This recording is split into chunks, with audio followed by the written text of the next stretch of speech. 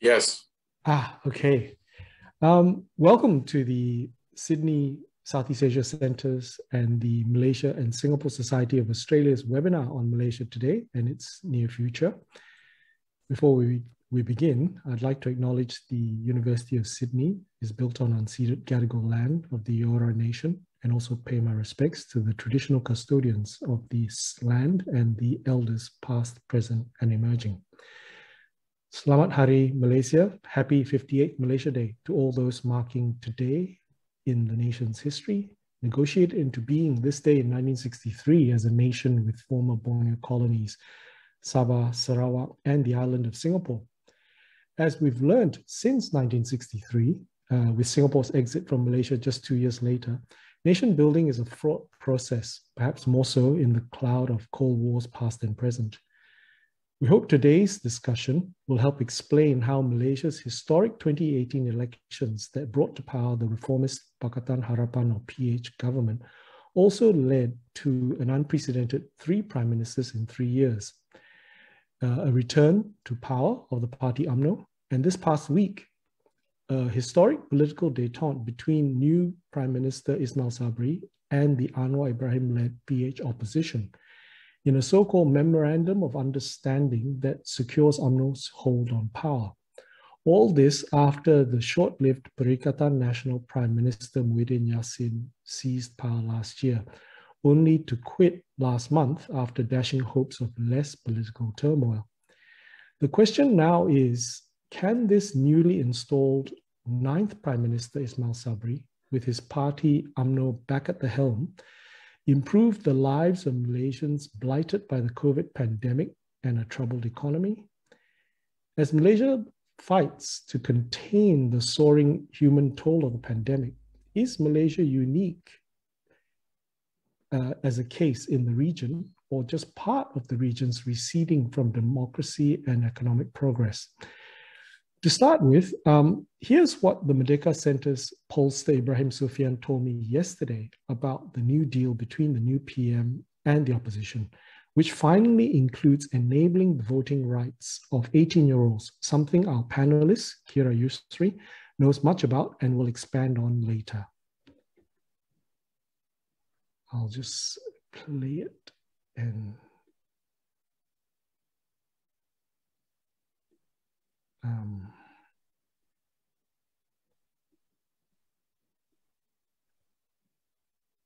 here we go. You know, most parts of the country under, are still under some kind of lockdown.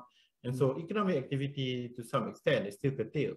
And that has, I think, affected a large swath of uh, Malaysian workers and households who've seen their incomes reduce significantly over the last several months.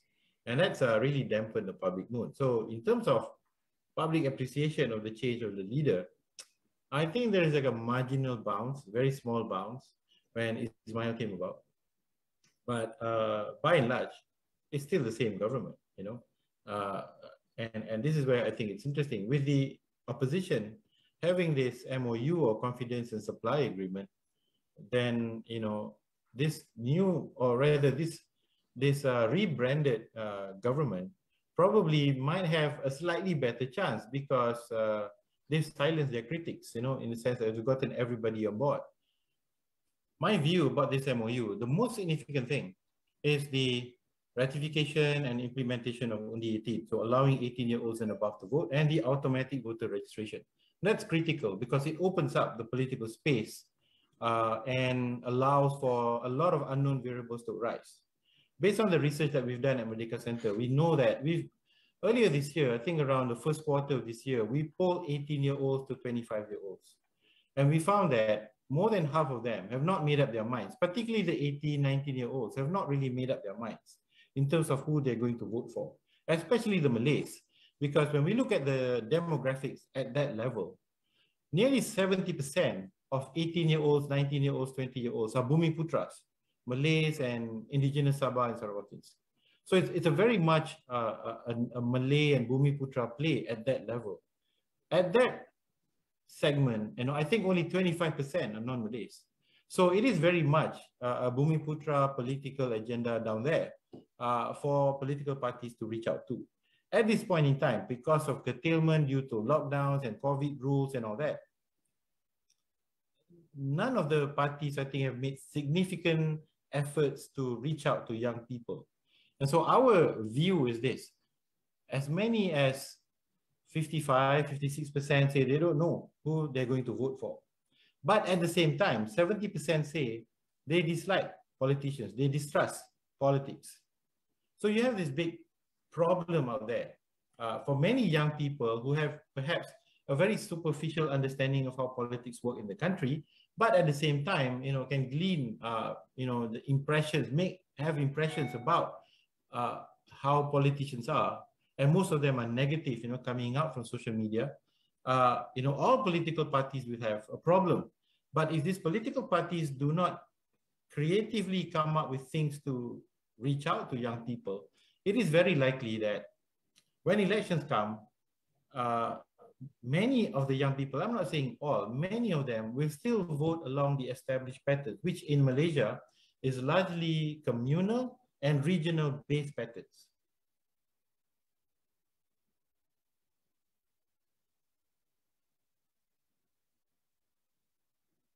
Uh, I think you're muted.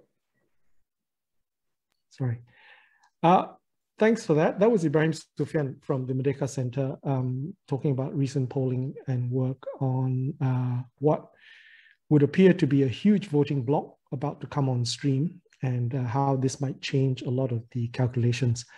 Um, so for our, our, panelists today, we're, we're, going to try and have um, a more open, free-flowing discussion. Uh, I believe Gayathry uh, Venkiteswaran from Nottingham University, Malaysia will also add to the discussion with a few um, slides to show uh, what she hopes to discuss as well. Um, to begin with, Professor James Chin, I guess won't need um, too much introduction to many of you as Australia's leading commentator on modern Malaysia and as Professor of Asian Studies at the University of Tasmania. Um, also joining us would be Gayathry Venkiteswaran of uh, Nottingham University, Malaysia, where she researches and teaches political communications, propaganda, and public relations, and is the former chief of the Southeast Asia Press Alliance. Our youngest panelist, uh, Qyira Yusri, will hopefully spark off our a lively Q&A afterwards as our last speaker.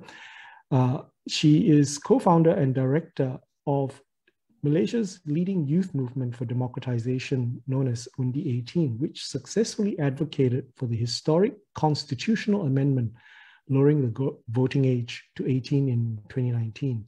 Uh, please post your questions uh, in the Zoom Q&A box and we'll endeavor to get through them all. To start with, um, James, uh, to help open up our discussion, could you um, share with us some of your thoughts on what this week's historic memorandum of understanding, otherwise touted as a confidence supply agreement between the new PM Ismail Sabri and the opposition PH coalition will mean when Parliament meets to consider those urgent budget bills these next few weeks. Will governance actually improve after this torrid year and a half? Uh, good morning. So the way I look at the MOU is that this is very much a temporary truce between the opposition and the government. So the whole idea of this temporary truce is basically to give both sides a certain amount of breathing space. Uh, it is widely understood that uh, the key or the key game that's coming up is actually not the budget, it's actually the GE15. So both sides are sort of uh, laying the foundations for GE15. Uh, the reason I say that is because it is quite clear that uh, if you look at the Ismail Sabri government, the way to understand this government is that there was no change in, in August.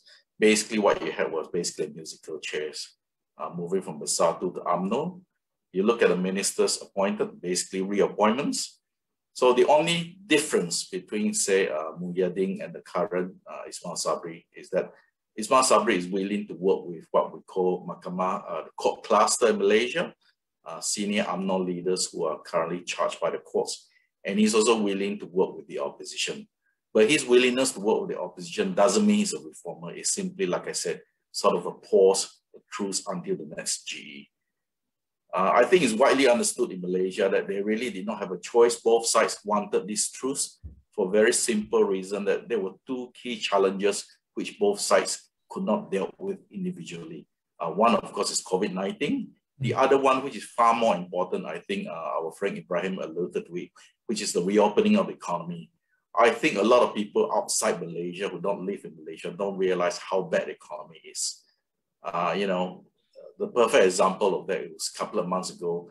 Uh, there was a campaign to provide food uh, to, to sections of the Malaysian population. At the start of that program, people thought that you know a lot of poor people be asking for food. But if you go to middle class neighborhoods, people were also asking for, for food. So that gives you an idea how bad the, the, the situation is. So basically the way I look at it is that uh, both sides are preparing for GE15 and my take is that GE15 will be held next year rather than 2023 uh, because there's incentive for both sides to go for earlier uh, uh general election. Uh, the only thing about the MOU is that it says that the government will not dissolve parliament earlier than 31st uh, of July. So uh, second half of next year is still a viable date. So the incentive for UMNO or, or the current government to go for general elections, of course, they want to kill off Bersatu. Uh, as you know, in, in, Malaysia, right, you can only have one dominant Malay party. So right now, uh, you know, the game is played between Bersatu and, and, and UMNO, and UMNO obviously uh, want to use the election to politically kill off uh, uh, uh, Bersatu. The only unknown with that election really is that what is the role that Mahathir will play? Now, I know many of, of people watching this will find it very strange that, you know, that this guy who, who's nearly uh, reaching 100 is still such a prominent figure in Malaysia. Now, he's not a prominent figure in the urban areas or among the chartering class, but the reality is that he's a brand name in the rural area. So if you look at all the past elections in Malaysia, right, basically in the rural Malay area, it was very much a battle, has always been between UMNO and PAS, right, two players. He came in in 2018 and managed to get one third of the rural Malay votes. And now that is highly, highly significant. Now the question is, can he repeat that performance in the next GE? Whether he can get a chunk of the rural Malay votes.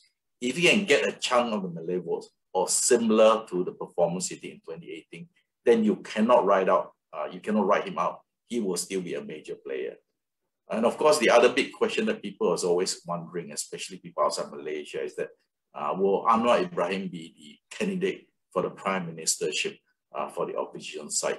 Uh, my guess is that PH will have no choice but to nominate Anwar Ibrahim, but that comes with it a lot of risks uh, because we know that a, a, big chunk of the Malay population is against Anwar Ibrahim, and that if they nominate Anwar to be the uh, prime minister candidate, then PH may not reach the figure they had uh, in 2018. So my conclusion is that the MOU is very much a temporary pause. It's an MOU. It's not going to fundamentally change the nature of Malaysian politics. It's very much a sort of a, a stopgap measure because the economy is ailing and because of COVID-19. Mm. So basically what we're talking about here, the whole feverish discussion just of the past week and the debates with the opposition about whether they have enough runway to lead up to what will be a very difficult um, GE 15, general elections 15, as soon as next year, is that um, you they had no choice because of their base, the so-called um, urban and working class base um, being very badly damaged by the pandemic. And but amongst all this as well, which uh, tends to be forgotten by a lot of um, peninsular Malaysians, is the significant role that the East Malaysia's block of votes has in uh, ensuring this government stability, you know, and, and whatever progress that might be ahead? So the way I look at it is that uh, the East Malaysian bloc doesn't provide any stability because the East Malaysians have no loyalty to any of the political parties in Peninsular Malaysia. So what the East Malaysians did was basically to give the numbers to Ismail Sabri a very small or slight majority. As you know, his number is basically 114, the same number that Muhyiddin had. So that's the reason why I said there's no change. Now, the East Malaysians will probably not play a role in terms of the big fight that's coming up, the one I mentioned between uh, UMNO and Bersatu and PAS. Uh, but what they will do is that if the Malay vote is split like what happened in 2018, then suddenly they will become important again because you need that block in order to cross the threshold, the 50% in order to form the government. other than that, uh, basically East Malaysians don't really care what's happening in Peninsula Malaysia. They just want maximum autonomy and want maximum funds in order to build up the two states. To uh, explain a little bit here, um, the current parliament of 222 uh, MPs, we, are down to about 220, I think, because two seats are not been filled. Uh, and the current new government of Ismail Sabri, along with Muhyiddin Yassin previously, uh, has only barely one, two, perhaps three seat majority. And uh, in the in the most recent um, horse trading to try and do a deal for a new government, Anwar Ibrahim's uh, Pakatan Harapan coalition again failed to get the critical numbers across. So it still, still seems, I guess, for those outside that it is so precarious. That is why perhaps um, there was enough weakness uh, for this Perikatan National Coalition Part 2 to do this uh, confidence and supply agreement.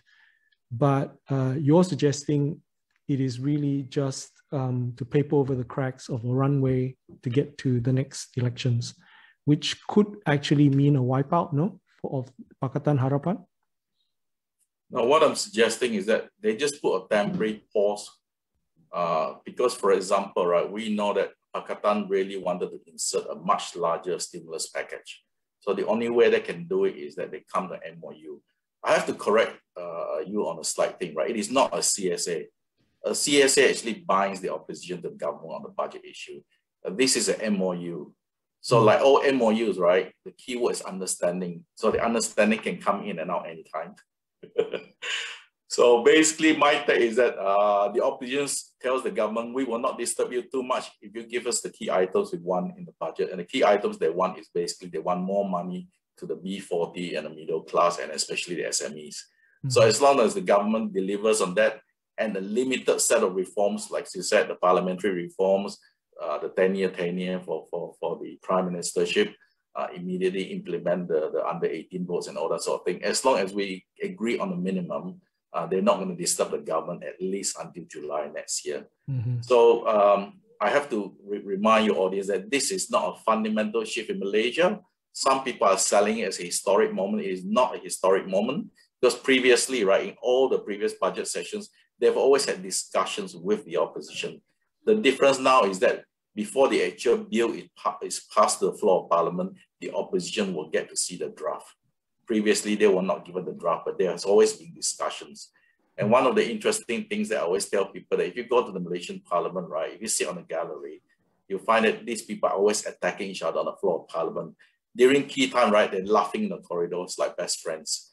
So what you see in public may not be what is actually happening, you know, yeah, among the personal uh, relationship between the government and the opposition. So this is very much a temporary truce. Don't read too much into it uh, everybody understands that uh, the, the real game or the real price is GE15.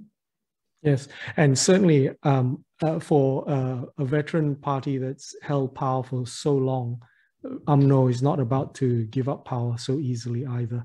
Um, I, I was just curious to get some views from both Gayathry and Qyira about this situation. Um, that Gaia, Gaia, you you have done quite a lot of research into how you could say the uh, government, uh, the Malay majority government, has actually managed to um, massage and and sustain a narrative of dominance and power, and how perhaps in the election to come as well, given the huge um, influx of young voters, many of whom um, get their information these days not from the traditional media of the past, but a lot of social media, um, where this might actually influence or take what is, you know, a pretty precarious political situation. Um, thanks, Kean, and, and good morning to everyone who's joined. Um, I think, you know, it continues with the theme that James had started, which is what has really changed, right? And, and looking from the perspective of media, um, and, you know, it's it's very unfortunate that where we see the legacy media or the or, or the sort of um, you know, I think it's no longer useful to to say it as mainstream because a lot of other forms of media are also mainstream, but legacy media that have been around for many years.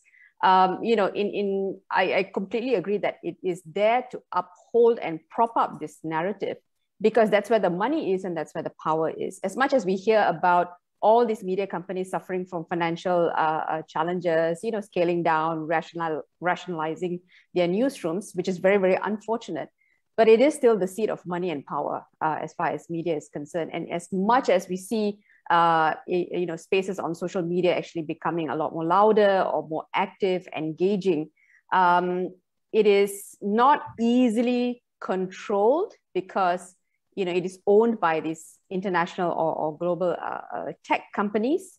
Um, but at the same time, there is still a, a kind of a, a, powerful force of who dominates this social media spaces as well. So as much as, yes, it's not within the, the full reach of the local owners per se, but as far as, you know, being present on the social media, especially since uh, 2013, where, you know, even, even BN parties knew this is where you have to invest, uh, there's, a, there's, a, there's a very strong presence. And so the narrative actually continues there as well, but in different ways, you know? So if you don't mind, I can, I just want to show a couple of uh, yeah. images. They're not slides, they're not presentations, but just a, a couple of images um, to, to just reflect a little bit on what has happened, um, especially since GE14 um, uh, and then with the pandemic. I think the most important thing is that with GE14, there was a sense of you know, hey, here is uh, uh, uh, an opportunity to own, uh, open up uh, Pakatan Harapan had made a lot of promises. You know, they were working on some, for example, getting rid of the Anti-Fake News Act, uh, interested in the, the development of an independent media council. They talked about removal of some of the more uh, horrendous laws on, on expression, never got very far. But of course, you know, Muhyiddin was sitting in that particular portfolio. So, you know, no surprise that it was actually a major stumbling block during the, the Pakatan Harapan's uh, time. But when the pandemic came, two things I observed. One, we saw the practices of the, the, the you know, perfected by the BN in terms of controlling the narrative, controlling the information, controlling criticism. So we saw what had happened to Al Jazeera, South China Morning Post, journalists being called in again and again and again for investigations. Uh, these are forms of harassment and, and, intimidation that, you know, really are very old. Uh, James mentioned Mahathir. You see Mahathir's face and signature throughout all of these uh, reactions as well, right? Um, but the other thing also is that, and you know, this was confirmed by uh, the Reuters digital news uh, report analysis on an annual basis, which is that during this pandemic, we can see a slight increase in trust of the public in the news brands. But that is very easily explainable because here we are in a pandemic. We need information.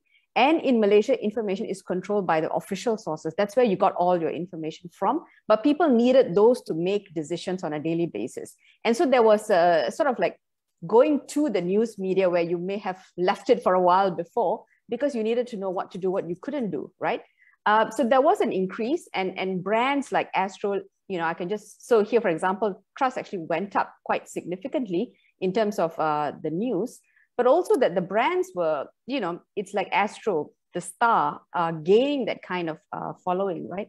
And so it's not that it, it sort of completely uh, died out during this period. There was a kind of dependence on the uh, on the news media, but only for the pandemic. When it came to political issues, when it came to to sort of more other social based issues, the legacy media was still you know unreliable. Not only unreliable, they were prejudiced, they were biased, they were partisan um, we are in the midst of doing a, a, you know further monitoring. And you know these are the patterns that have been seen you know from ge15 uh, sorry ge not ge15 but ge14 who are the news makers how do the news media especially the legacy ones um, you know position their stories right? How do they focus on um, you know policy matters for that uh, for an example?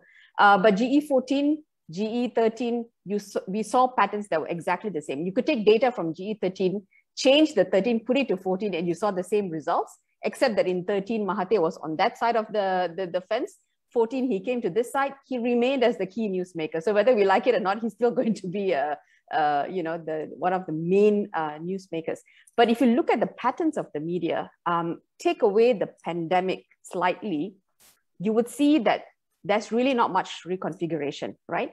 Ownership remains in the same hands. The faces have changed. So from UMNO owning directly uh, Media Prima, it's Johari, it's Syed Mokhtar, right? All these are it's still establishment in that sense. Utusan is now within a company that is partly owned by UMNO, where it used to be directly owned. So there's really no reconfiguration in that sense.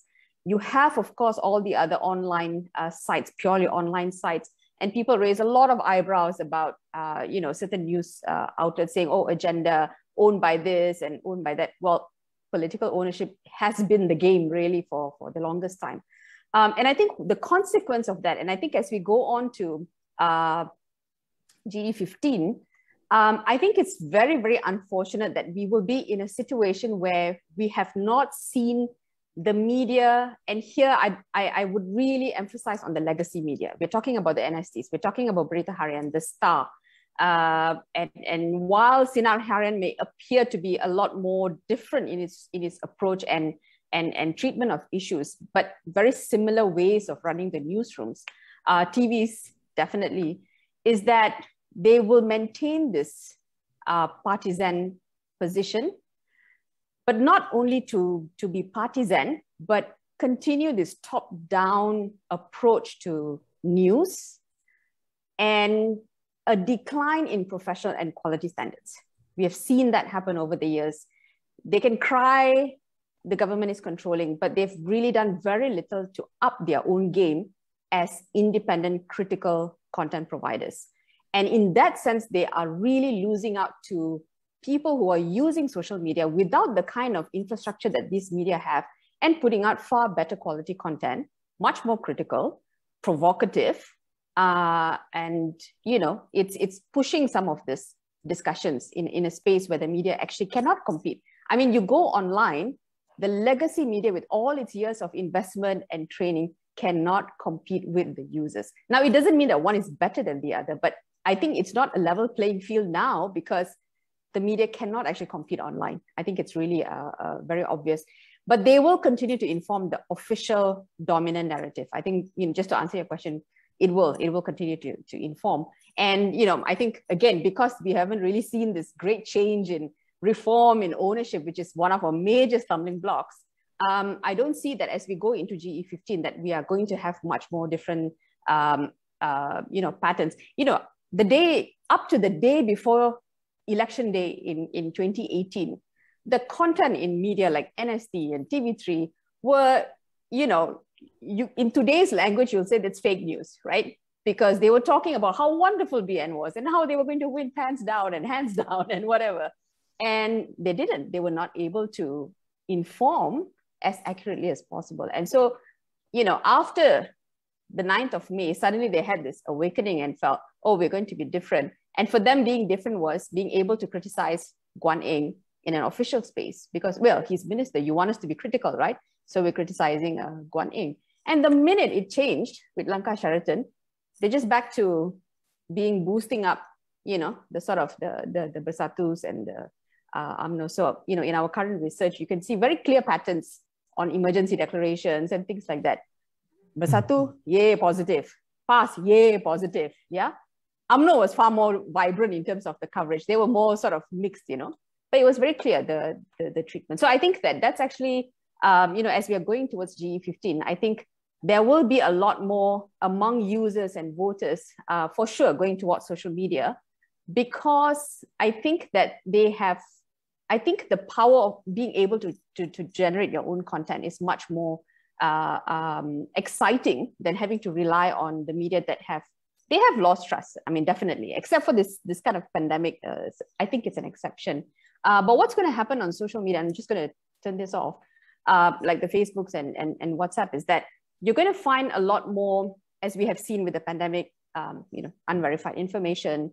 Uh, so it's it's more popular narratives that will get out there. So if you are a politician and you know how to capture that, then it's going to be that kind of popular narrative, whereas the dominant narratives will, of course, you know, be there as part of the, the media. So I'm, I'm, I'm going to, you know, sort of see if that has been able to answer your question, Kean, and, and see if you, yeah, and go from there. Great, Th- thanks, thanks for that, Gaia. Um, I, I guess it's it's really both a struggle for legitimacy and credibility, not only of a government but also of the media, and how um, both uh, in some ways hostage to this new social media phenomena. And in, some ways also is the nation itself a bit hostage to this country of old men leading it?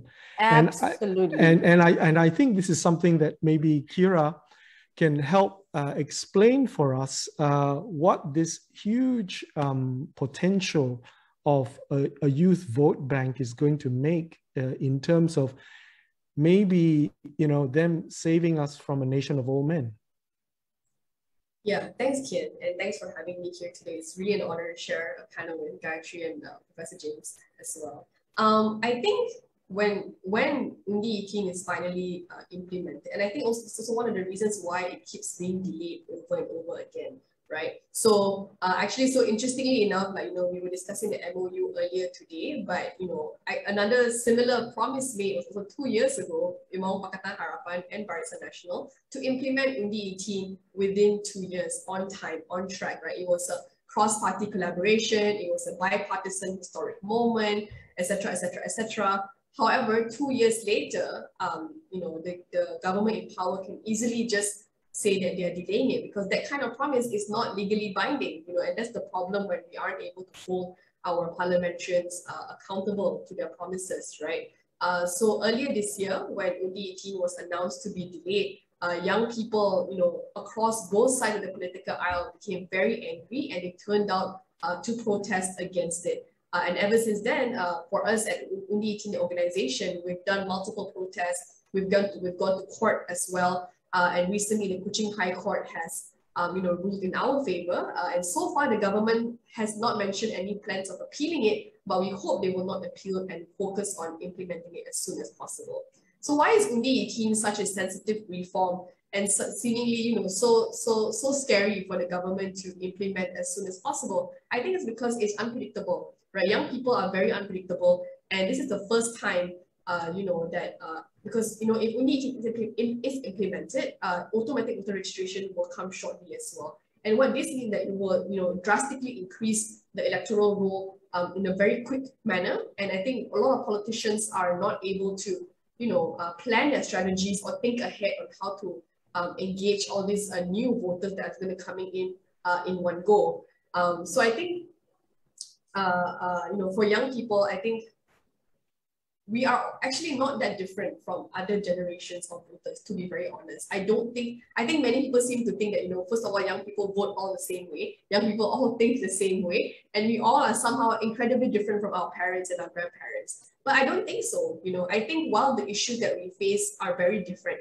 such as employment, uh, education, you know, these are still economic bread and butter issues. But fundamentally, you know, people my generation have also been brought up in a time of AUKU. We have been brought up in a time where, you know, schools and universities are not encouraged to talk about politics. We're not encouraged to think critically. We're not challenged in our ideologies and our, and, and our mindsets. So I think, you know, to, to, you know, it depends who you ask, right? Sometimes you realize that, uh, you know, young, young voters may not be as progressive as everyone assumes they are. And I think that's the real danger when politicians just assumes that young uh, that you know we are uh, we are all like-minded and we all vote the same way. You know, I think when we were organizing the protests, uh, many young people also refuse to support it, right? Because they don't think that uh, it was right, they don't think it's the right time, etc., etc. But then the question is that how do you make um, how do you educate the mass populace so that people understand what's at stake? And I think that's what many um, activists this year is trying to do.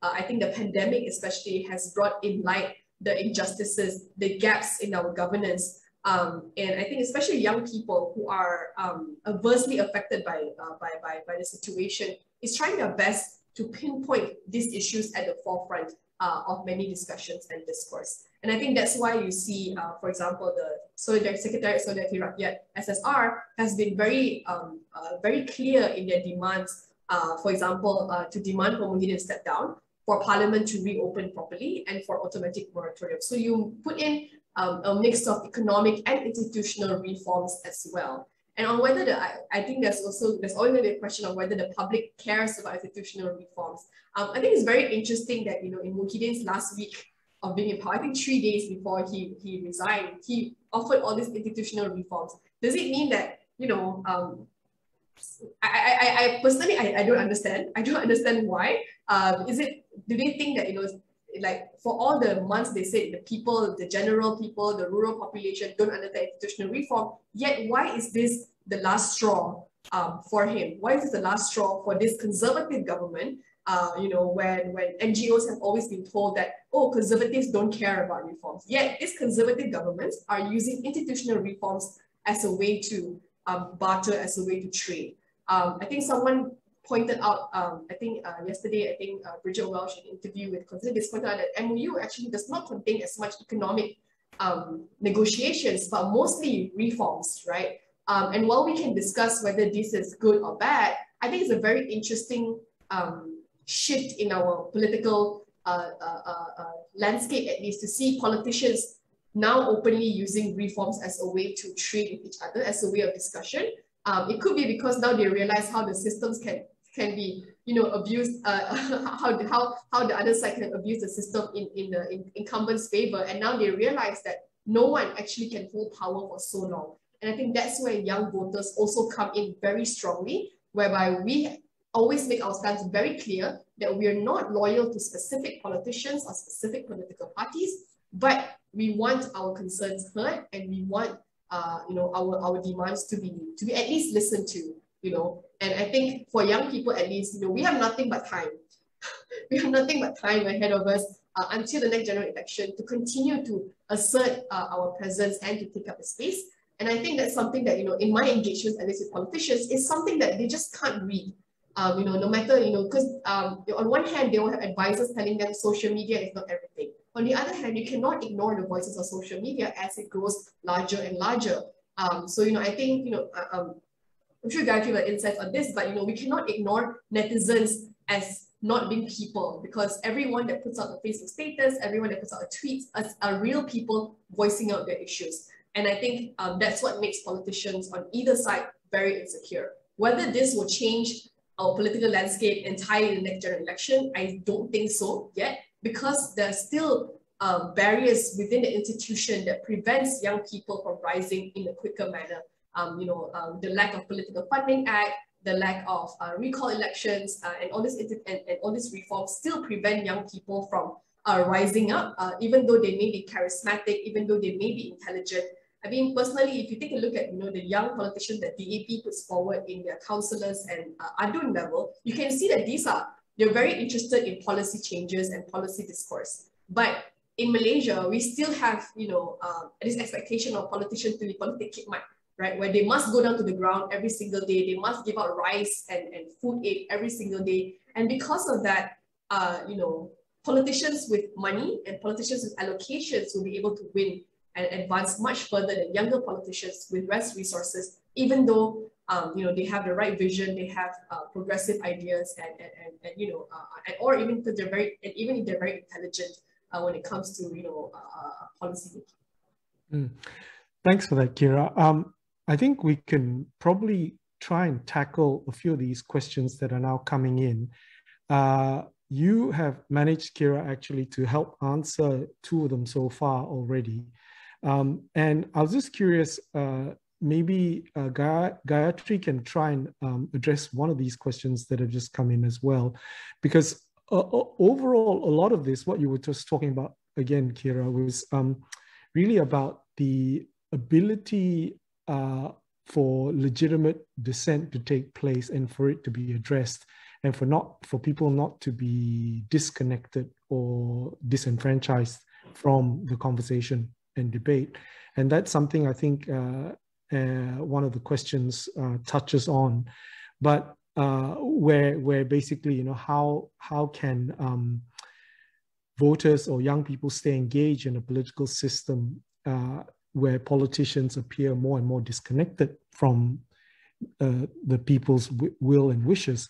Um, before we get to that, there's a question from uh, Richard Lowe, which basically I think is addressed to you, Gaia, whether, oh, and to anyone else wants to answer, James as well, whether political parties should be banned or curbed from ownership uh, in any media. Um, thanks for that question. Um, I think there are a couple of issues here. Number one, um, preventing ownership is never the you know never really the kind of advocacy i would do Um, except that in the case of Malaysia, like many of our friends also in, in uh, Southeast Asia, but also much more broader in, in you know, post, um, post-conflict or post-transition uh, societies, um, our challenge is that our political economy system is really, really problematic. So to, to discuss the media, one really also has to discuss what is our economic structures. And we have such a weak economic structure. We are patronage based, corruption is really, really, really high. And so to decouple politics from you know, business and the economy means a reform of our overall economic structure, which is one of my criticisms in, uh, you know, looking at, say, ideas of reforms, not just in Malaysia, but also in other places, is to think and imagine that, hey, if we fix something that is you know, labeled as media and we fix it there, therefore the problems will be solved. I think it's really quite uh, narrow, narrow-sighted lah, because it is tied so much to the kind of broader uh, structure. So if you look at who owns a lot of this legacy media, who's investing in some of the more newer media, the ties that they have with the pol political you know, parties, the system is very, very strong. So unless we are prepared to say, reform entirely GLC, reform entirely the way that licenses are issued for a range of things, then we are, you know, by just saying, look, let's ban political parties actually doesn't solve the problem. Yeah. Because another very important feature in a lot of these kinds of systems is proxy ownership. And so if we can't, you know, if we are not clear about, you know, the kind of uh, ownership structures, um, you know, it will hide behind proxies. Lah. So I think we need to have a very clear sort of definition of ownership as well. And, and I think that it's, um, it's far more important to create a, a more dynamic environment in which there's diversity, there's removal of barriers to enter into the media industry. And you know that, that doesn't rely on this kind of issuance of licenses, which is why the online seems a lot more uh, uh, you know preferred. But anyone with the ability to to say set up TV, whether it's digital multimedia, you know you you need to remove that that barriers of uh, entry. But media is an expensive business it is an expensive business, which is why I think we need to think more about democratizing the media by not thinking about only a particular structure of media, but also to open up to actual real public interest media, community media that allows people to take more ownership of, of their content. So to answer very quickly Richard's point, um, I think it is, um, it's very sexy to say, hey, let's remove pol political ownership. Gobind also actually said that when he was minister. But my question is, where do you draw the line? Do you draw the line at say the person is a member of the the the committee or council of the party branch division leader and their family can they would they would they be included excluded in this definition? What is the percentage? 7% 20% how do you define those things? And i think you can't answer that question until looking at the broader one. And related to that richard would be i suppose practice of transparency and accountability. One has to be transparent with um, where the money is coming from, one has to be accountable for that as well. I think what we have in Malaysia is a complete lack of accountability of the media because they have the impunity, especially given uh, with the with the with the more older media. Yeah, there is somewhat of an impunity towards uh, you know ethical issues and you know fairness, uh, you know diversity and plurality. So I think that one question like that forces us to actually look at multiple aspects uh, uh, to, to, to address it. Yeah. Mm. Great. Thanks, Gaya. And it's good that you also touched on yeah, the, the issue of legacy media and perhaps legislation reform itself is not enough. Um, to, to look at perhaps the public conversation also needs to uh, ramp up for that. Um, because I, I, guess it was touched on by Qyira earlier as well that um, the whole social media campaigns, the hashtags of Kerajaan Gagal, failed government, the hoisting of white flags for help, and the hoisting of black flags to express public anger at a previous failing government, um, also indicates that there are a lot of uh, online communities, if you like, that also matter in this discussion that shouldn't be ruled out I, I guess that's what you're getting at, right, Qyira, previously. And also um, how it touches on um, one of the questions that was asked, I think, to you, uh, Qyira, about um, how, how do you, you know, stay engaged with uh, politicians who appear more and more disconnected and whether parties that are youth oriented like Muda have any chance to tap into this? It's an interesting question. I think um, to get to stay engaged uh, with I think young people have become very creative in trying to get engaged with their politicians. Uh, in Undi 18's programs, we always encourage um, our participants to research who their local MP and ADUs are and to actually find out ways of how to reach out to them. Um, I think MPs in the in, in uh, urban areas are a bit more approachable because they're a bit more visible online. But I think uh, MPs in rural areas especially is a bit harder to get to reach out to them. Um, primarily also because maybe not all of them have like, you know, a social media manager, not all of them have a team that even does like engagements for them. Um, I think uh, personally, I think for example in Sarawak, I think one of the most engaged, uh, the most approachable MP is when we look at Isman of CBT, um, because he's one of the youngest, I think the youngest GPS MP out there. So he actively reaches out to uh, our counterparts in Sarawak to try to engage um, young voters and also do, do outreach with, with um, Sarawakian youth. Um, yeah, so so that's that, right? So I think it really, so if I feel like if the politicians uh, make a conscious effort to do outreach uh, to young Malaysians, then they will be able to actually tap into the youth voters very, very easily. Look at how uh, Syed Saddiq is doing it, look at how Michelle Ng, Lim Yi Wei is doing it, and even now recently Sharon Hamdan has also explored new Twitter, uh, sorry, uh, TikTok accounts and things like just to do outreach to them. It's really easy to tap into young people because we're always online, we're always engaged. It's a matter of whether, um, you know, uh, they they they dare to you know actually do this sort of like public and, and actually in a way quite vulnerable engagement with young people because young people because people will actually not just young people, people in general will not hold back online. They will just make their voices heard, whether you like it or not.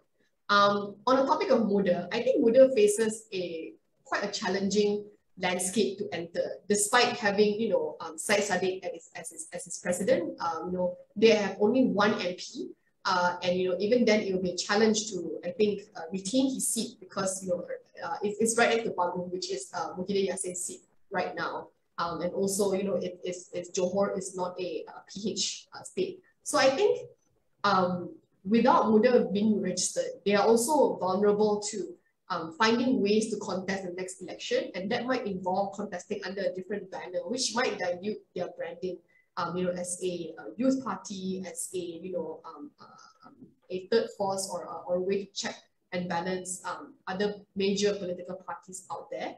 Um, but looking at their uh, members' uh, statements and all that, it looks like they played a role in trying to ensure um, Anwar became uh, prime, become prime minister during that vacuum for about one week or so. But of course, ultimately, you know, Ismail Sabri still became prime minister. And then the question comes to, so where does Muda play in all of this, right? Muda is still not officially part of Pakatan Harapan.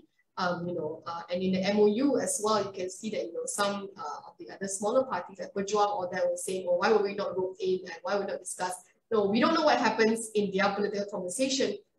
But the fact of the matter is, um, the question comes in the upcoming general election, uh, is it smarter to go in as an independent party or is it smarter to go in as a coalition or is it smarter to go in uh, under a different uh, party's banner, such as either Warisan or PKR or DAP. I think those are the tough decisions that Muda has to make um, as long as they remain uh, unregistered. And this is what some of the structural barriers that I was highlighting earlier, right? That young people may have dreams and aspirations of disrupting the political landscape, but when you have ROS, which is under the purview of the Ministry of Home Affairs, deciding who gets to be a political party, and then ultimately who gets to run in, in elections, it's you you join the game um, you know, you join the game with, with, with less equipment than uh, all the other players and, and you are immediately, you know, unable to, comp- and it's immediately not, not a, a level playing field. So how is that fair uh, for, for not just young people actually, but for anyone who wants to make a difference uh, in, in our political scene? It's extremely difficult to disrupt uh, and, and, and ultimately it will always favor uh, the government. So, you know, I think that's why,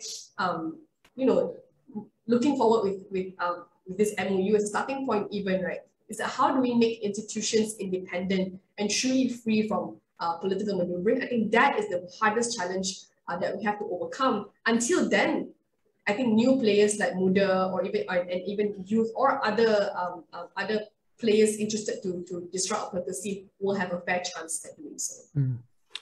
Thanks for that. I mean, it's good that you touch on these need for institutional reforms, which I guess um, helps uh, seg us into questions that have been uh, aimed at James about the question marks again over whether the memorandum of understanding, the MOU, is actually good or bad for the long run health of Malaysian politics. This question comes from Elisa Ling.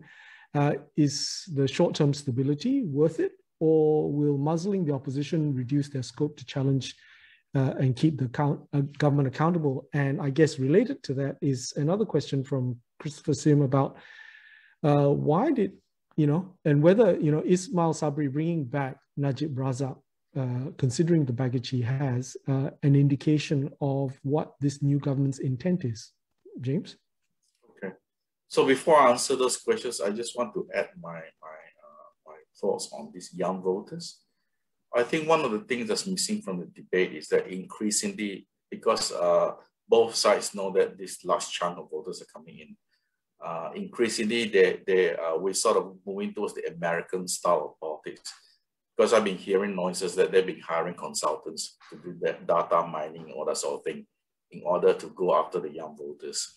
Uh, we saw a bit of that in 2018, and of course that company blew up. Uh, but it's my understanding that, uh, you know, how should I put this delicately? There, there are some Malaysians who have some overseas experience in this thing, who has come back in Malaysia and started work, working on this issue. Uh, I can speak from personal experience because I have some contact with these people and they're, they're trying to sell very, very sophisticated packages about how to reach out to these young voters. The other point I wanted to make is that um, I think Qyira is absolutely right. We should not assume that young voters are a homogeneous group. And in fact, I'll argue that, you know, before the young voters came in, a lot of these mainstream political parties are very active youth wings. So even before, you know, before Undi 18, right, they were already reaching out to universities. Uh, a lot of political parties used to hold these holiday camps they call it, uh, I, I can't remember it, I, I think they call it some sort of, uh, uh you know, character building camps or whatever, but it's actually a front for all these political parties. So they've actually done a lot of work with, young people. The big difference between the, the, the old days and now is that uh, the young people are bombarded with so much information. Uh, the information is constantly changing. And, uh, you know, as Qyira mentioned, they're online 24 seven. I think that is the only difference. Other than that, I would say that the mainstream political parties actually have done a lot of outreach to young people, and we should not assume that all young people are going to vote in a certain way or they're anti-establishment. In fact, a lot of young people are actually pro-establishment because uh, they've learned very quickly that in the Malaysian parley, right, cari makan means that you find a role in the political parties. Now, coming back to your question about uh, Ismail Sabri, why did he deal with, with Najib and, and Zahid? The answer is very simple. Uh, if you look at the chronology of how Muhyiddin was deposed, right? Uh, the fire was started by Zahid and, and Najib. And uh, the crucial point, of course, was when the king intervened. But basically, those two lit the fire uh, to pull, pull uh, Muhyiddin down, and uh, it was successful. So we're talking about a government with at most three or four uh, MP majority, which means that uh, the Zahid and Najib group, they have about 11 or a dozen of them. If three or four of them decided to pull out, right, then the government is finished. Uh, having said that, uh, that's the reason why I said there's lots of incentive on both sides to make sure that you know there was a period of stability with COVID, with bad feelings among the people, everyone's sick and tired of politics to push this through. Uh, my take is that uh, uh, going to going heads towards uh, GE15, I think each of those political parties, in terms of the major fundamental problems, they're not going to deal with it. So when I talk about the major fundamental problems, I'm talking about the real long-term problems that Malaysia face and I'll just quickly run through the list. Uh, the list. The first is education. We all know there's a big problem with education, primary school all the way up to tertiary level. Secondly, we have a big problem in economy. We're caught in the middle income trap. We've been talking about it for more than 10 years. Nothing has happened. Nothing has happened with reform the NEP. We got big problem with income inequality. The gap is getting bigger and bigger. We got big problem with brain drain. Uh, never mind me, but, but this is a reality, okay? And the, the, the thing about brain drain is that 15 years ago and today is that today, right? I suspect at least half are younger Malays professionals. So even the, the Malays who are supposedly the beneficiaries of system, they're leaving as well. And of course, uh, the big elephant in the room, the issue of identity politics, the rise of political Islam. All these things I'm talking about, right? Everybody knows are big, big issues, but we've just spent the last 45 minutes talking around everything else except these five big issues. Why? Because it basically reflects what the political parties are doing. and the political leadership is doing, they're not worried about this. And it comes back to my earlier point. They're all positioning for GE15. They don't care about all these long-term issues. But you and I both know, right? If you don't deal with these issues, 10 years time, it'll come back to bite you in a big way. And a very simple example of that, 10 years ago, we were laugh at Vietnam. We talk about Vietnamese brides, you know, uh, factory workers from Vietnam. Do you know that in economic terms, right, Vietnam has overtaken Malaysia. If you look at the core, the core statistics, they've actually overtaken Malaysia. So I, I, I think, you know, when we, when we have a discussion on Malaysian politics, I think it's also important that we keep an eye on the big issues. And one of the core, core things that I always, uh, you know, worry about is that why are we taking our balls off the really, really big issues? Because if we don't deal with this, right, uh, then I think the country will have a, a real turbulent period. It really doesn't matter who wins because this thing will come back to bite you. Thanks, James. Uh, I, I, guess that's something that is always in the back of our minds in the discussion of how, you know, legitimate government can only implement those difficult reforms and uh, address these difficult issues. And that's been the problem, right? The question of who has the right or credibility to push that through. I, I suppose that's related to uh, a question here from Greg Lopez, uh, who asks, and I guess this is partly addressed to Qyira, uh, whether we know what are the social movements, non-government organizations, grassroots movements, etc., that represent young people in Malaysia. And uh, this is, I think, related to also whether there are uh, similar projects and research looking into uh, upcoming uh, GE15 and whether uh, any of you are, you know, compiling such data to look at um, uh, groups like these uh, young groups, um, Qyira? Um, I think there are like there are many youth groups in Malaysia trying to push the discussion forward, uh, especially uh, for democracy and political education actually recently. Um, especially at, at, as Undi 18 was uh, passed two years ago. Uh, so Undi 18 is one of us, one of them. We have an alumni network of almost 10,000 young people that have been through our programs or attended our sessions or webinars or or camps. Um, but there are many other young people, you know, actually organizations run by 18, 19 year olds, such as Maya Movement, Misi Solidarity, whose co-founder at 20 years old was arrested and locked up in Jinjang uh, for almost 10 hours under the Sedition Act. She is too young to vote, but she has been arrested under the Sedition Act. You know, I think young Malaysians have been pushing forward um, uh, discussions of climate change, especially through uh, campaigns like My Hutan, campaigns like Climate Action Kami, uh, you know, protesting outside uh, SUK uh, for the Kuala Langat North Forest Reserve as well. These are all led and held by Malaysians under 30 years old. So I think uh, upcoming, uh, moving forward GE15, no matter when it is, uh, looks like it might be July next year, you'll see um, more and more youth voices who are non-partisan, I think that's very important, One non-partisan that will come up and make their concerns heard on various issues of economy, education, and climate change. I think these are the three main um, issues that, uh, that young people are, are most concerned about. Um, and I think for, for me at least, I mean, I can't speak on behalf of all these other youth organizations, um, but I think uh, for Undi 18, we, we are focusing on uh, collecting aspirations and voices and channeling it towards advocacy in a structured manner. Uh, so that it's not just, uh, you know, we want to educate young people to not just complain about issues or get angry about it, but to have the facts and knowledge behind uh, what they're uh, they're working on as well. So our most recent program, Dewan Muda Malaysia, which Gayathry is a, is a mentor of, um, you know, we have 222 young people from every single constituency in Malaysia. So you have urban rural representation, you have um, upper class, lower class, middle class representation, you have OKU Orang Asli, Sabah Sarawak representation in one program uh, where we work with them uh, on, on various issues such as right to information, anti-corruption, institutional reforms, uh, policy making, so that, you know, ideally by the time, um, you know, when when uh, when when GE15 comes, uh, sorry, when the next, uh, sorry, when GE15 comes, um, you know, these discussions uh, will have youth voices incorporated in it and their concerns. Mm. Um, thanks, thanks, Qyira. That, in a way, also, I guess, um, leads us into uh, the broader discussion uh, that I think James and I have had uh, over the past, you know, several weeks about while trying to think about this webinar, um, how whether Malaysia is really unique in the region or really just reflecting one of the many examples of this uh, receding from uh, more democracy and uh, more reformist type of politics. Um, and I'm Simping uh, from Sydney University has, you know, asked whether the COVID pandemic has actually weakened this transnational anti-establishment networks that uh, had perhaps informed the past 20 years of so-called reformasi politics in Malaysia that um, someone like Anwar Ibrahim was strongly identified with, who himself um, is, is in many ways a diminished character. Would you say that, James? Uh, no, I would put out the receding of democracy uh, throughout the region uh, to other factors.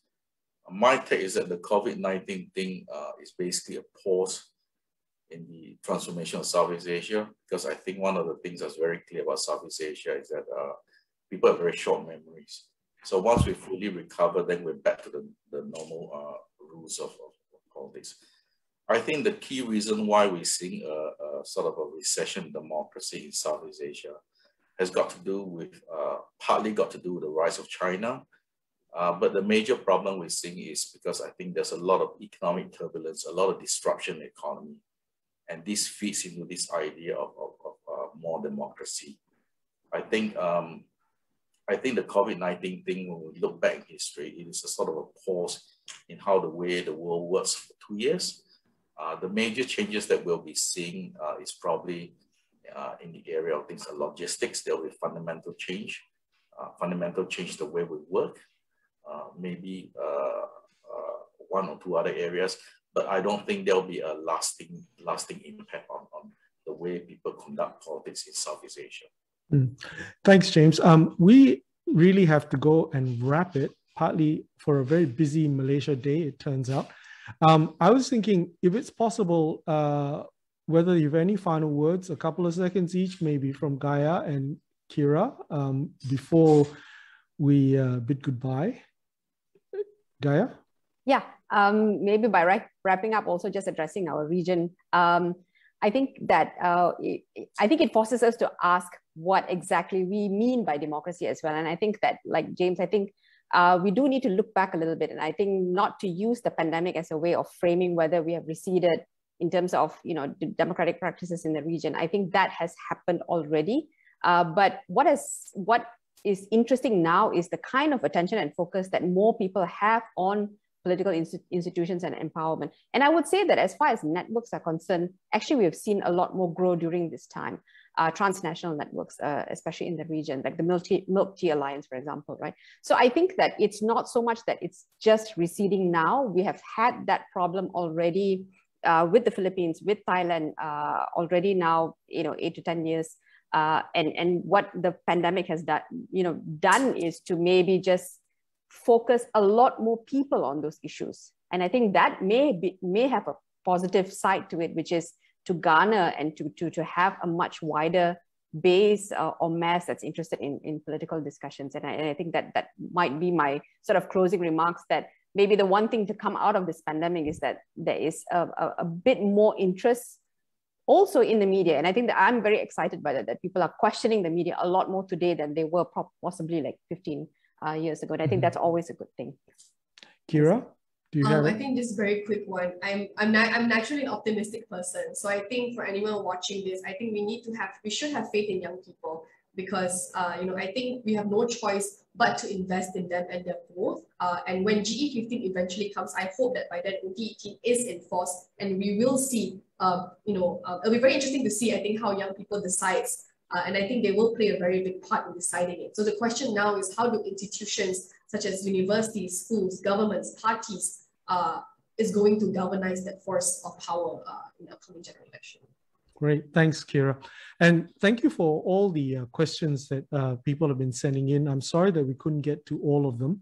However, uh, I think in the invites that uh, you all um, subscribe to, uh, there are links also to continue this conversation further, uh, both through the Sydney Southeast Asia Centre at Sydney University, as well. Um, coming up is the Malaysia uh, Australia Singapore Society um, Association's um, conference, I think in November, in which I think James is going to be talking at as well.